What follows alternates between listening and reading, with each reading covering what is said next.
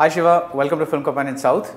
You are the executive producer of a lot of films that Madras Talkies makes. Yeah. Executive producer na enna? What does the job description entail? Okay, so I see it more like uh, the sweeper position in cricket. Okay, so you can be deep cover, deep point, deep mid off. Ba- basically, you are there to cover a lot of things. Meaning, executive ப்ரொடியூசருங்கிற பேரை வந்து வெவ்வேறு கம்பெனியில் வெவ்வேறு production ஹவுசஸில் ரொம்ப ஃப்ரீயாக use பண்ணுறாங்க so if you where to ask a different EB he or she might give you a completely different definition. I'm going to stick to what I do. At Madras Talkies? Yeah. Okay. Uh, or as the EP of my company with Shad. Yeah, Yeah. yeah, yeah. So uh, to start with, I think I think the EP role that I get to play here is very similar to the producer's role in Hollywood. Let's say Spielberg makes a film for either Amblin or SKG. Then Spielberg and Kathleen Kennedy would be the executive producers, or Spielberg and uh, Jeffrey Katzenberg would be the EPs. And then they'll hire producers for the specific projects. So if SKG were to produce, let's say, five films and whatever, five other shows, there might be 10 producers, and he'll be the EP of all of them. So, in a way, the guy or the lady who brings in the money, who puts the whole project together, becomes the EP. Okay. And this also extends to uh, people who take shares. Like, for example, let's say you make a film with a Stephen King novel, and you're not going to pay him, but you're going to give him a percentage point. He might take an EP credit, which means he's not going to be involved in the day to day operations of the production. And then you have the producers who handle the film. Now, in India, it's ulta uh, SG or Mani sir or Mr. Karan Johar, they become the producers. They call the producers. Because they finance them. Yeah, They, they, they are the ones who bring in the money. They are the uh, reason this film is getting made. So in India, we are used to calling them the producer. The producer. and the executive producer working under them uh, executes their idea. So I'm going to stick to the Indian Version. definition. But in Hollywood, I would have been called a producer. Anybody who's doing my job would be called a producer. Okay. That's interesting because I always thought producer na he's the guy who brings in the money. That's uh, that's that's right, but that's that's right for the Indian uh, Uh, yeah, yeah. uh, the scenario. Scenario, okay. In Hollywood, a producer works under an EP. EP, okay. He works for a studio. Okay. So let's take uh, maybe just to make this a little easier, we, the Indian definition. But let's take a recent film that you have worked on. Shall we take uh, Chekka Chivantha Vaanam? Yeah. Uh, so as an EP, from the beginning, uh, what did your role in this film entail? Okay, so to start with, I think the EP's primary job is to have control over the budget, Right. uh, to define the cost of production, and keep contingencies ready Okay. in case. That's the contingency. Right. And the whole budget making process in an organization like ours, because it's a smaller organization, it's not a studio, the whole budget making process also means that you have an understanding of the business. So you're, you're not going to uh, budget a film for 100 crores knowing it's going to get sold only for 50 crores. So step one is to actually define the scale of the project. To define the scale of the project, you get a hang of the script. So the writer director, he gives you a story and he says, "Hey, take a look at it and tell me how much it's going to cost, and tell me how much we can actually make it for, so that we are not taking major risks." Okay, so let's step back for a second because you are also a writer on Chekka Chivantha Vaanam. Mm-hmm. so take a project where you were only EP. Alaipayuthey? No, no, I was an AD in that. I, Okay. I think Kaatru Veliyidai. Cartwelid. Let's say Kaatru Veliyidai. So you did, you were the only the EP on that, Yeah, yeah? yeah. Okay. So Mani Ratnam and whoever his uh, uh, team or whatever it is, they give you a script. Yeah. And uh, you take the script and then you say, okay, this has sequences in uh, in Kashmir. It has five warplane sequences. Correct. It has uh, some mountain, whatever. Then it, it, you know, all that. So you put together. It needs fighter planes. It needs all these other things. So you're you're you're, you're looking at the script, and that's what you mean by getting a scale, uh, sense of the scale of the correct, project. Okay, correct. Okay. And then you go to uh, your boss and say, okay, it's going to cost X amount of money. And he invariably laughs at you and says, no, it's not going to cost that much. I'm not looking at it like that. So read it again. This is how I envision it. So we break it down further, and then we arrive Without changing the script. Of course, how? No, no. You never do that. I mean, the budget is made for the script, not the other way around. Okay. At this point, at least. Then you have a sense of how much it's going to cost, and while writing, we already had an idea of who the cast is going to be. So we try to see if these two numbers mm. match. You know whether it's viable. So when you say cost, it also includes the cost of the cast. Yeah. Yeah. Okay. Yeah. So above the line and below the line. Right. I thought I'll come to that in the next step. So basically, I come up with the overall budget, and then we see the business potential of the project. Yeah. And then if they kind of match, and if it looks sensible to start that, and then we say, okay, let's get into it. Okay. So that is step one, basically. Then the EP is responsible for actually uh, making the contracts with the chief technicians and actors. Meaning, you speak to them on behalf of the company you invite them for a meeting with the director they get to know their role we work out their availability and then if those things add up then we discuss numbers and that for, for each of them we already have allotted a certain figure we try to make sure that those numbers kind of match so this is what we call the above the line uh, numbers so these numbers are fixed for the whole film And Like- you're talking about right now the the DOP. The yeah, yeah, the above the line people, Yeah. the lead actors, the chief technicians who are hired for the whole project. So it doesn't matter whether I shoot with them for 50 days or 60 days or 70 days or 35 days. They're there for the film. Right. So you know their market rate and you know how they're going to uh, contribute and add value to your film, and you just kind of balance all of that and uh, fix their numbers. So that becomes the above the line budget. Then, if all of that is all right, so usually, typically, you would say 55% of the film's budget is above the line, and the other 45 goes to below the line Which is your day-to-day uh, cost of shooting, meaning your camera, lights, location charges, food, the vehicles, the generators, and uh, extras. travel. Yeah, extras. And then you have the broader heads like travel, which is not just for the shoot. You also travel a lot for your recce. And there are other technicians traveling for so many different reasons for purchasing Yeah. and for post production. So travel becomes a separate head, accommodation becomes a separate head because even if you're shooting in Madras, you may be bringing people down who could be staying for months. So it's also not, uh, not a factor of number of shoot days. So you, you get into uh, the below the line cost, which is like I said, the daily shoot cost, then travel, accommodation, food, and art and costume, uh, wh- which are kind of tricky because everything else could be pure uh, production related calls. When it comes to art and costumes and even makeup and hair, you know for sure that the director will have a say in it, and uh, you you got to keep on polishing those numbers, making sure the director's vision is reflected in what you're going to build or what you're going to purchase, and then keep the numbers together. So that's how the below the line numbers work out. At this point, an EP typically has a line producer. Okay. So the line producer takes care of all these numbers. Who, line producer works under you. Yeah. Okay. Takes care of the numbers. Not that anyway. Below the line numbers go to the line producer. Above line goes to you. Yeah. Okay. So I tell my line producer, hey, we can't spend more than this on the accommodation for this person because your overall accommodation budget is this. Right. And you can hire uh, 50 extras today, not 75 as these guys are asking for. So kind of work it out. So the line producer takes care of all those. That's why he's called the line producer. The thing is, at this point, like how I got to read the script and I worked with the director and the uh, producer, who's the same person in my case, in uh, defining the scale of the film.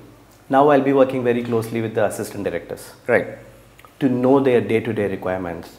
And for this, you need to have a decent grip of the script because you don't want to be blindsided by a weird request that suddenly pops up. You should be prepared for it. If you already knew that something was there in the scene, you knew they were going to ask for it rather than be surprised by it. So you need to keep yourself updated on the script. Can you give me an example of like something that a request that that blindsided you in your words in Kaatru Veliyidai? It actually happens often, even if you're Right, right. prepared. Just just to get an example of Okay, um, the Kaatru Veliyidai is set in uh, Kashmir, So we worked on uh, shooting in Kashmir for months actually. And for different reasons, uh, it was proving to be difficult. And just before we were about to get the permission, Uri attack happened. So obviously they were not going to let us shoot a film uh, on a military base. So we had already got the information that old Russian planes were available in Serbia. Okay. So the MiGs. How did you get this information? No, people approach you, right? People, Okay. people approach you and you talk to them and you want to know what they've got to offer. People approach you saying we have old Russian planes. No, no, people approach you saying you can shoot in Serbia. you Oh, like that. uh, like that. Yeah, you okay, know. like a location kind of thing. Yeah. Okay. Ah. It was Travel Masters, Ramji. He, Yeah. he, he offered uh, many locations. And uh, I knew that he had said uh, this was available. And which kind of matched the period that uh, we wanted the film to be set in. So uh, we started working on uh, that permission. The, the, the issue we had at that point was we wanted snow and we didn't know whether we were going to get it In Serbia. in Serbia. They were saying you'll get snow in February, but we had so many other things lined up uh, that we had no uh, you know, hope uh, to push it to February. We, we knew we wouldn't be able to pull it off, so we decided to take a chance and go to Serbia in uh, December, I think, November, December, late November. The thing is, we were so lucky that on the day we landed, it snowed and we shot the snow scenes. It was a short schedule, and within two days we had to shoot scenes without snow, and it stopped snowing. we were just lucky. Now I'll come to the uh, part where I got blindsided. Because things went so fast, we also had to pull off some scenes with soldiers. Okay. That I wasn't ready for. That we didn't know we could uh, organize there or we had to organize there. And then we came to know that the gypsies, the you know Romanian gypsies who live in uh, Serbia, they kind of look like Asians. So we got them to don the Pakistani uniform and we started using them. But I did lose some sleep over that. Now it's not a big creative decision because they didn't have any speaking parts. Right. So that, that was not a decision at all. We just needed people who, who could kind of match the look without costing us a bomb. In both ways, the money that you pay them for the shoot, and if they ended up being uh, Caucasians, you'll be changing their faces in post production. We didn't want to do that either. Yeah. So luckily, we managed to pull that off. So you, you, you're prepared for uh, your day to day problems, but you end up getting facing new issues. I'm not going to tell you where I failed. No, no, no. I would have loved to hear that. But let me ask you this. See, you when you go to a particular location, don't you know which scenes you're going to shoot? Like I at? was saying, the weather was unpredictable. Right. We, uh, we had covered everything. This was an add-on. Because you had time. Yeah. You said let's also Yeah, shoot this yeah, here. let's also shoot. Okay. Otherwise, you would have come back and Yeah, okay. we would have we would have been happy. We would have called a wrap and we would have come back. But suddenly there is an opportunity to can something else. The stunt team was good. Right. All the camera equipment was there. The location was brilliant. It was right for us. Right. We just needed this. Right. So You've talked about above the line, below the line. You're talking about so basically you make sure that the shooting produce uh, proceeds smoothly, Mm-hmm. even though it's anything but smooth for you. uh, I enjoy it actually. but, but your thing is basically to say Mani Ratnam is, has enough headaches of his own. The rest of the stuff, at least, I'm going to take care.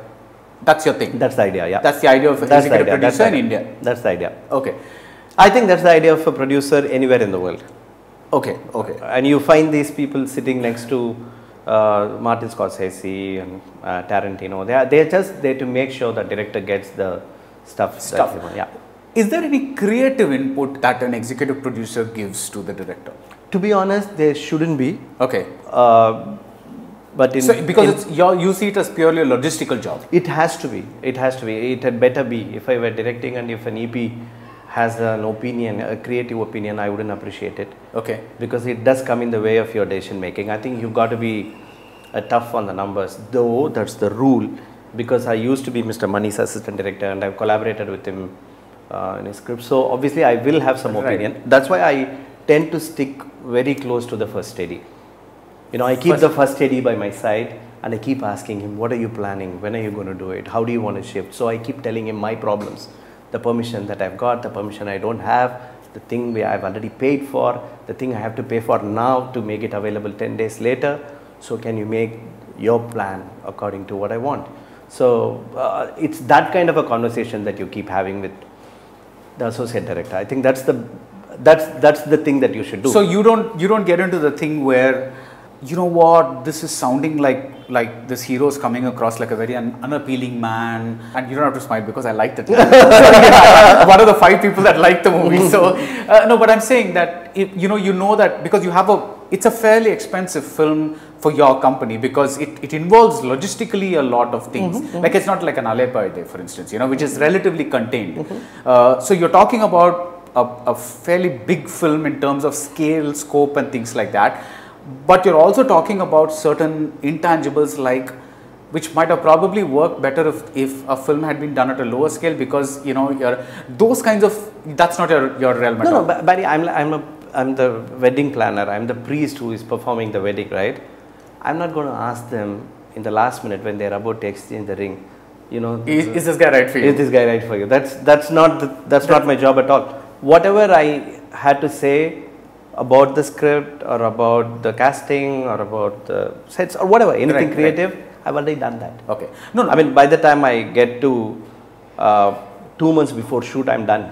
So I don't talk creative at all. at all. So technically speaking, if it if if it were not Mani Ratnam with whom you have an equation, let's say it's somebody else. I have an equation with him, so I do tell him. So No, no, you do have an equation. Yeah, I'm yeah. saying let's let's say if it was somebody else with whom you did you were purely executive producer, and you you would not even even if the script were completely something that you didn't agree with, your job is only to execute the logistics of it. That's how it should be. That's exactly how it should be. But I think a producer or an executive producer should walk into a film only if they believed in the script. Okay, why is Uh, only if they trusted the director. Can't you still just execute it? No, I don't think that will work. I think you will not enjoy the job, and if you don't enjoy the job, this is hell. So I, uh, I respect the director a lot. Uh, in this case, Mr. Mani, and with Shad, I like him and respect him. Yeah, he's, he's my friend, friend. as Yeah, well. yeah, So, yeah. so working with them is So a you, pleasure. you you were with Shad in that uh, this film Soorma. Uh, Soorma, yeah, yeah. Yeah. So, wha- so what happens is, is they also want to have me by their side because they know I'm emotionally invested in the film. I'm, I'm not a gun for hire. So I, am, I do care about what they want to say. And I, I'm, I'm talking about this from uh, the, the perspective of what somebody should do, not necessarily praising myself. I'm just saying, if you wear an EP, you better like the film, otherwise don't do it. You, you better trust the director, you better love the script. Okay, so just to get back a little to what you said like uh, a few minutes ago, you said that you're at the stage of a wedding planner where you know you don't really. So why should they care at this point what you have to say? No, but, but to get to this point, Okay, okay. to get to that point, uh, you, you, you should have done all of that. Maybe, maybe you're going to come to me and say, hey, listen to this script. And I'm going to say, buddy, I don't like the script. Then you shouldn't hire me. Okay. You know, you should, if I say, hey. what if I knew you're a damn good EP and I just want to get the logistics because it's a complicated film. I need like all these things, and I know Shiva's a damn good EP. I need to like like you know, but but you don't like my script. But you would not be comfortable working with that. I would leave it to each individual to decide. I think I will want to work with directors I truly like and scripts I truly believe in. Okay.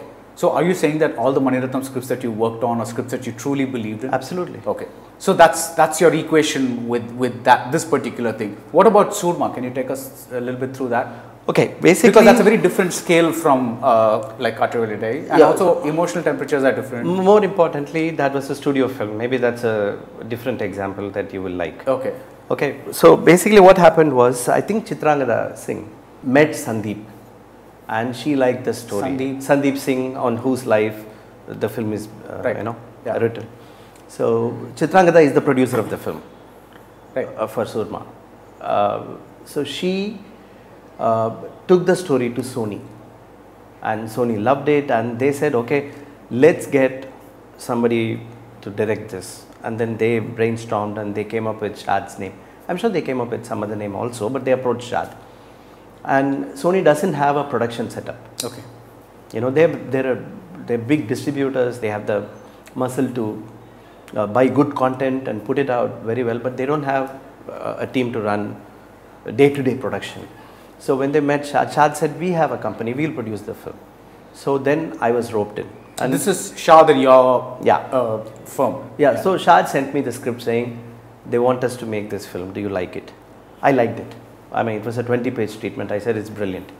Let's go with it. So I met the uh, Sony guys and then they asked me how much do you think it's going to cost. I gave a number, they gave a number. So it goes to that process. Then we g- got into the above the line, below the line thing. Some of the above the line things they took care of directly for copyright issues, like they have to pay the uh, music composer, the lyricist, and the lead actors so that they have control over the uh, individual contracts. Okay. Then everything else was to be executed by our company. So that became our responsibility. So the, then the game is the same. I hired a line producer, I hired a, hired a production team. Then we got into breaking down the whole shooting uh, schedule and then divided the budget further and further and got it done. The thing is, I got into writing a little later for the same film. Okay. You know, they wanted some rewrites to be done, so I got involved as a writer also. So, so that's a separate conversation. But otherwise, I served as a producer, as an EP, fully. what are the skill sets that a, an EP needs? Like, you know, because in most other film, uh, let's say you want to become a photographer, right? It's, it's very likely that you played around with the camera or, you know, you have an eye for taking photographs or something like that. If you, let's say you want to become an actor, you probably discovered early on that, you know, you played a part in dramas in school Yeah, or something yeah. like that. It's So- not a performing art. Right. So it's not a performing art. So how do you, how does one decide that, oh, you know what, this is my thing? In a funny way, it's actually a very humbling position. You know, Right. you got to be humble. You got to realize that during the production phase, during the execution phase, uh, you are one of the important technicians, but you actually don't matter. Nobody is going to buy a ticket because somebody was the EP of that film. They'll do it for a cameraman, they'll do it for an actor. They're not going to say, hey, this guy is the EP, I'm going to buy tickets. And even Baradwaj Rangan will ask you, what does an EP do? Because nobody knows what Right, an EP right. does. So, so it is an irrelevant job in the eyes of. It's not No, an in the irrelevant eyes of job. the- uh, because that's why I called you to the. no, no, no. What is, no, no, no. I'm, I'm just trying to say it's, it's, it's, it's, it doesn't matter who does this job for the uh, ticket buying public. Right. So you're not in it for fame or recognition of that sort. That's why you got to like the script because you are in it to execute a particular idea, Vision, a particular script, and see that getting translated to the big screen. That process has to work. So I would say that you got to really love movies. Obviously, yeah. Uh, uh, that's true for everybody, Yeah. but but there is also a mix of the fame that comes with it. That could be an incentive for the other jobs. Here, there's nothing like that. It's only about actually getting a job done, Right. and the buck stops with you. So you got to handle pressure, and you got to be slightly thick-skinned. I'm still learning, so I, it's actually uh, thick, thick, it's- skin, it's- thick skinned why? Meaning you you got to take the uh, punches, you got to take the kicks, you got to be the fall guy when things don't go well. You know, like it could be an individual who needs to be taken care of. Now, without naming names, tell me like a scenario that you're talking about. Let's say you needed X prop and the prop didn't come on time. Things something like like that. that. Okay. Something like that. Yeah. Something like that. Uh, uh, because luckily, uh, the actors and technicians who work in uh, movies Right. are usually very passionate about their contribution, so they never give us any headache. And I, we never. We, you don't have to deal with silly egos. Yeah. So you're actually worried about how the film is going to shape up. And if something goes wrong, like a permission goes wrong, or you miss a particular date, then then you got to be able to swallow it and uh, work on plan B. So I would say you've got to be really really interested in cinema for the sake of cinema, and then you've got to have a thick skin. And if you're actually going to talk about a skill set, I would say you've got to be a quick decision maker. Okay. You can't really sit on something for days. Would you also say you have to be a people's person? Hundred percent. You got to be a people's person. I mean, there is another obvious thing that I didn't want to say, but maybe I got to say. You got to be honest. Okay. You know, you can't. I, I know it sounds silly, but you you are dealing with a lot of money. You're dealing with. You you have the pseudo power for a uh, you know temporary phase where you can decide on a lot of things, mostly below the line Right. like services and other contracts that can go and you got to keep your eyes open and make sure honest people are dealing with the money thing because you won't even know where it's leaking So you you you got to be very clear about those things. You got to be a people's person, and But that's that's really an enormous thing because let's say the food caterer contractor is milking you, yeah yeah. you know, It's not unheard of. right? But how do you find that out? Like, You know, you, you, you rely on your uh, team members, people who uh, take care of line production or production coordinators and your auditors. You know, you, you, you work very closely with them all the time and you always keep the ADs by your side okay, because they are usually incorruptible. You know, Okay. those guys are usually, you know, interested only in getting the film made. So they keep telling you, you know, I got only 50 guys yesterday, so don't pay for 60. You know, you got to make sure those guys are involved in the whole conversation. which is the most complicated project ever that you've executed as an executive producer? I think I'll be able to name it in a year because we made Ponniyin Selvan. yeah, it's, it's, it's, it's pretty good. okay, so take me through all the films that you worked as as an executive producer, uh, whether with Madras Talkies or otherwise, and give me one incident that defined that film for you in terms of what this job meant. I think I think I can talk about Kadal Okay. because Kadal's climax is set in a uh, in a ship that's caught in the Right, storm. right, and you actually waited for the. Uh, I mean, you had that cyclone uh, happening, right? Yeah, and to execute that, we had uh, so many options. Uh, we scouted uh, f- uh, for places in Thailand. We were planning to take it to Europe, and we were planning to build a set interiors. And it was In- a in Chennai? Yeah, and it was a complicated uh, decision because uh, there were so many requirements with in terms of action, in terms of rain, in terms of visual effects, and in terms of permission from Navy and everything. So, how we arrived at that and eventually it turned out to be the most logical way of doing things. So we got everything. Right. The we- got it done in the right season, in the right weather. The ship size was correct. All the engineering elements that go with it to lift the ship Yeah, and hydraulics to, to yeah, and all the water splashing mechanisms. Everything worked out really well, and the day-to-day operation of that. So it was a tough one. And to- where did it actually happen? in uh, North Madras. Okay. So to, to actually get that done, to understand what the art director intends to do, what the stunt team wants, what the DOP wants, what the VFX team wants, what the actors need, and what are the cops saying in terms of bringing water lorries and, Right. and, and what will the fishing community say to put all of that together and get that shoot done. That was the best thing. And, and that gave me the clarity that this is actually the EP's job Okay. to, to be in touch with each HOD and you know and making sure they get what they want and also getting the director's vision executed intact. Okay, so just that very that climax scene.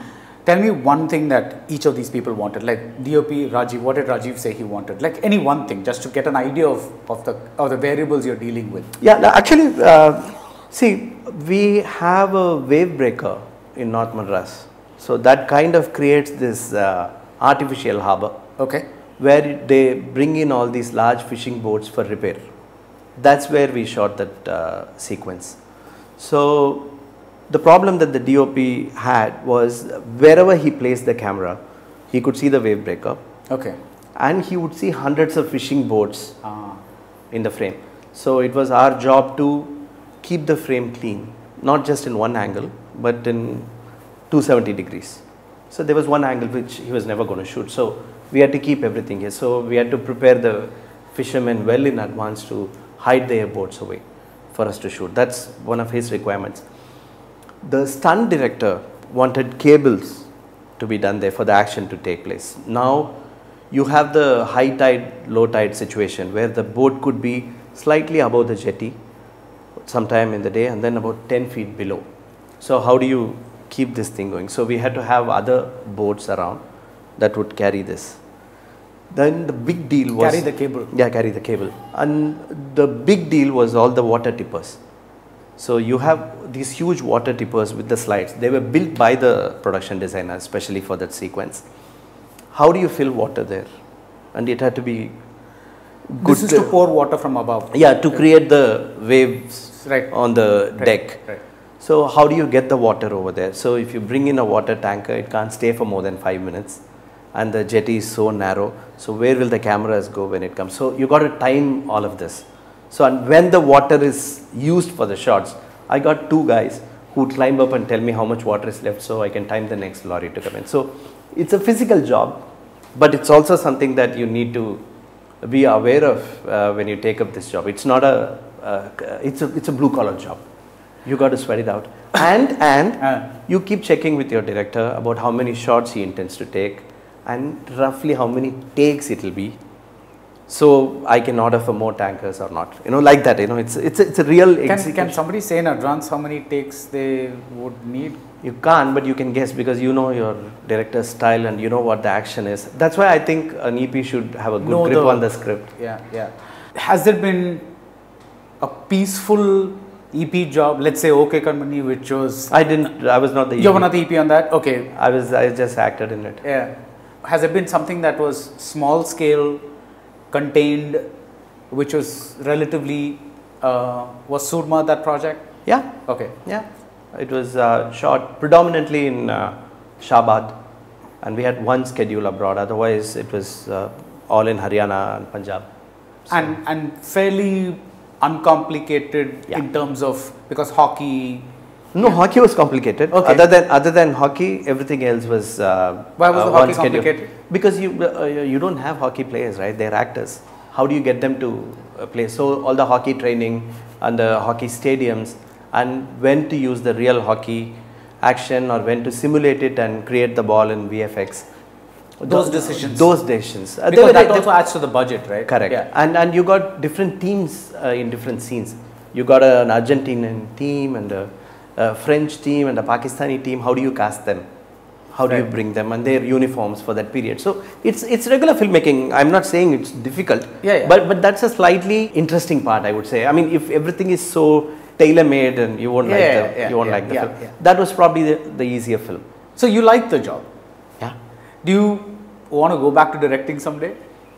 Um, of course. I mean, uh, is it, Would would that would that mean that uh, like because you've kind of become so specialist, like such a specialist in the zone, Mm-hmm. would you feel that now, like it gives you this thrill to be able to execute these these enormous logistical I, I, I don't think these two jobs are mutually, Mutually exclusive. exclusive? Not Okay. at all. Okay, Not at all. okay, okay. Not at all.